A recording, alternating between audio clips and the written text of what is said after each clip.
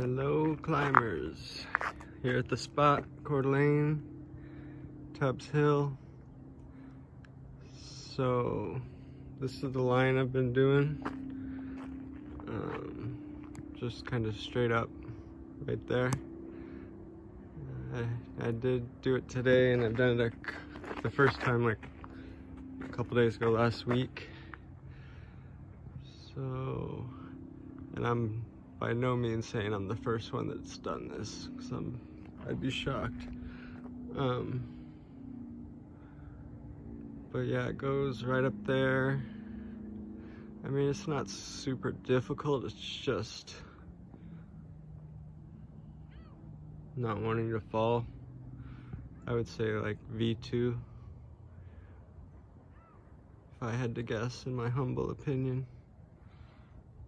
But yeah. It's a beautiful night. Nobody's really here. Oh, there's all the people. Give them a show. Give them a rock climbing show. Hello. Wave to them.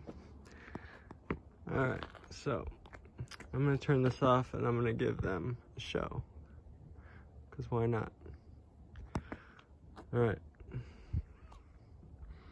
sun's coming out too. You can kind of see that line a little better. It's just real crimpy, crimpy and slopey. And it kind of pops out a little bit. Here, I'll kind of get on the side.